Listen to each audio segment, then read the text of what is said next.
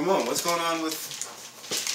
It looks the same. Where's all the decorations? We're not doing Halloween. Nah, Fuck the fuck the fuck the viewers. We're not doing Halloween. Fuck them. But I've been saving this for like. I, I've been so excited about this. Hey, look at this. Hey, look. Oh shit! I can't have kids. Oh, what? I can't have kids no more. Because it is. Yeah. Stop, stop. This might maybe use this to my advantage. But this this is ridiculous. Raj, like we're not doing this episode, the Halloween episode. I don't know, guys. I mean, uh, you know, it's gonna air after Halloween, so what's sort of the point? Uh, I mean, Halloween's gonna be over by the time people watch this episode.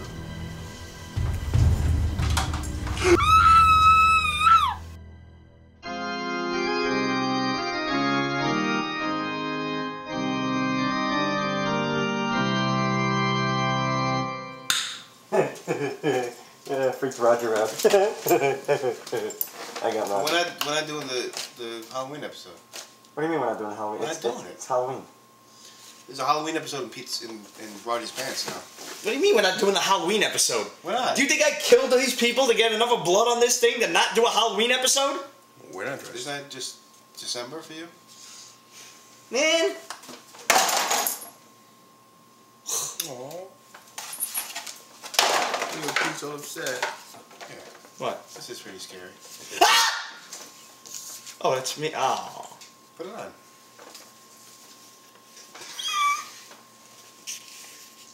Now, how creepy is It this? It is pretty damn creepy. Let's take it off. Pull them up. What's up, guys? And welcome to the unofficial Halloween episode of Pete's Basement, even though you're seeing this on November 2nd. So, Happy November second. happy November 2nd indeed. You throwing in the towel? That always freaks me out. What? It really does. That's scarier than my costume and that fucking mask put together. Sweat rack? Yes. Ah, ah, ah. So what are we reviewing this week? Well, here. You go through this week's stash, Okay. and I'll make a couple of announcements. Uh, first off, Brian Gago, uh, thank you for coming up with the correct answer to our wire hangers contest. Pandalowski is the correct full name. That was all that was given. We weren't given a first name of uh, the DA in Brian in your Brian Gago in Alan Roberts wire hangers. So you will be getting your four free fully autographed copies of wire hangers 1 through 4 as soon as you send us your address we promise we will not hand deliver them in trench coats in the rain When you say for free, you mean for free or for free? We're going to send them the number 4 and you should sign it. No, but for free comics or for free comics? Are they for I'm free? confu- same as you! Uh, for those of you who don't know that was an Abbott and Costello routine kind of redubbed for Pete and Steve. Uh, for those of you who do know congratulations you have comedic culture. Um, we have Gino Ames who wrote to us and asked, probably me mostly, because I'm the only one insane enough who would be able to answer this. Um, what do you guys think could possibly bring the amazing back to Spidey? Um, we're going to cover that a little later when we get to Spider-Man in this issue, and that kind of goes along with Patrick Ennis. Any relation to Garth Ennis? Uh, he asked us what about what do we think of va- variant covers and shit like that. So um, we'll touch on that actually at the same time when we get to Spidey because Spidey's been having a slew of variant covers lately that have been all but fucking useless. Uh, so right off the bat, Action Comics 894. Uh, I only bought this because of the cover because I like the character Death and I just really appreciated the um, David Finch cover. So that was why I got it. Other than that, I have no idea what's going on in Action Comics. The artwork inside is nice. Well, I know what's That'll going on, but. I didn't pick that issue up. I So what's going on, Ron? Why are there look like the two Luthor's- Luthors?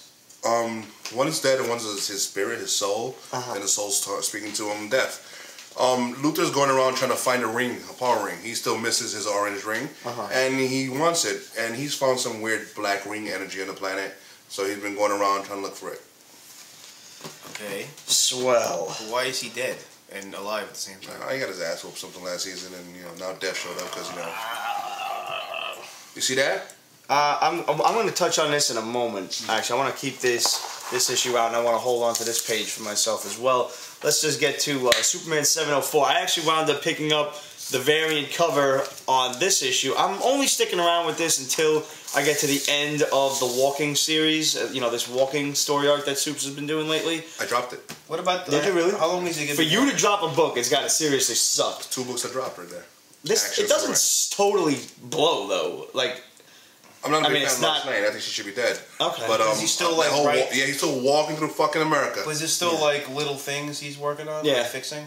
Not in this there's one. no main plot This, line. this yet. is a separate shit. I really hope this doesn't last a year.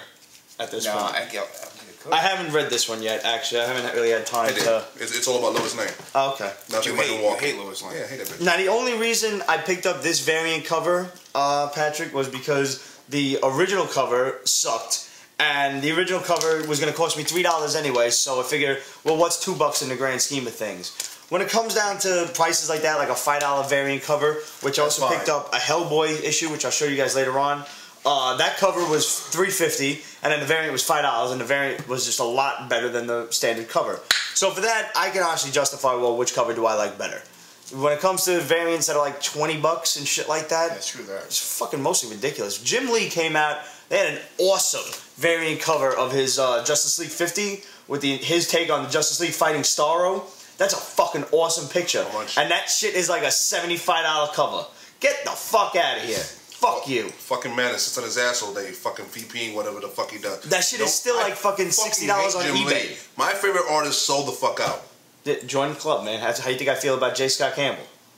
The fuck. That's true. He does covers. He does covers. That's all he fucking does. You're not allowed to punch me. I'll hit you back. Grow some tits, and then you can punch me. Ooh. How creepy is that? Pete, for the next six months, no eye contact. All right. All right, uh, Ramon, you seem to be picking up these uh, Bruce Wayne Road Home books, Ra's al Ghul and the Oracle. Um, Ra's al Ghul looks like the owl, and he's got a really huge head in this. Yeah, this was Look at this. Co- look at that. That's a fucking horrendous cover. All the road home books are interconnected, interconnected in one big whatever. Right. Um, Batman's back. Bruce Wayne's back. Officially? Yes. Well, here he is. He hasn't come Not back in in the other one. He's No. not in Batman. Uh, The Returns Batman or and whatever Robin the fuck he came is back. hasn't finished yet. And that other returns Jason to history shit, he hasn't come back. And that other shit, he doesn't remember his memory.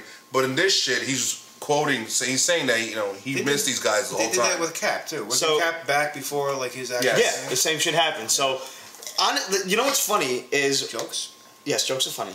But you know what's funny that you have to laugh at or you'll scream and go insane is not only is DC and Marvel just fucking totally copycatting off each other, if I can use a nice fucking 80s five year old term. Thank you, Steve. They, they're copying each other for decent stories and they're copying each other for fucking stupid mistakes. Mm-hmm. How is how they gonna have Batman back before he's officially back? If you that was a me, blunder on Marvel's part improve on the fucking idea. Get your shit out on time. Don't release this book for another fucking month. What's the rush? That's been what the fuck? for 40 years. Stan Lee was in an interview once and he said that like Marvel would put like word bubbles on the covers And then DC would stopped copying it over. And then Marvel would stop and DC would stop. Like Right. just, you know, vice versa. Oh yeah, no, they- they absolutely play off of each other. But and this is the other thing that I wanted to bring up. So you're saying that you know, and in one set of stories he doesn't remember anything about traveling to the past, and in the other set he does remember. Yeah, and the shit Grant Morrison writing, he don't remember shit. In this series, he remembers he misses them and how he worried about Uh, them. credit where credit is due. I believe in this case that I mean, it it's a shitty story as far as I'm concerned, but he shouldn't remember what the fuck happened. I don't think. I don't think he should. Working through time, he shouldn't remember who he was and excuse me. Um. You know, like he shouldn't be missing everybody. When he gets back, he should obviously have the recollection of holy shit, I was fucking stuck in time. But you know, I, So what is he not supposed to remember? uh, I'd like to fucking totally forget this no, whole but thing he's supposed to going on. remember now when he's Oh, are back. we doing a bit? We're not remember. No, no, no. No, we're not doing a bit. I'm This, I'm just bitching. I don't understand the, what you're saying. Is that Basically, like he got sent back in time. He has no clue of that he was Batman at While all. he's lost in And time. While he's lost in time, he lost. shouldn't be missing Oracle. He shouldn't be, you know, saying, "Oh, I wonder how Right. Dick is doing." Right. But when he gets back to the present, he should have the recollection of, "Holy shit, I was stuck in time." right? Okay, yeah, I agree. With that. Which brings me up to this shit. All of these new Batman books, you're seeing uh, the advertisements strewn amidst the DC books for Batman Incorporated, Batman which is one of the lame brainest fucking ideas I've ever heard. That's a serious cock. Holy shit.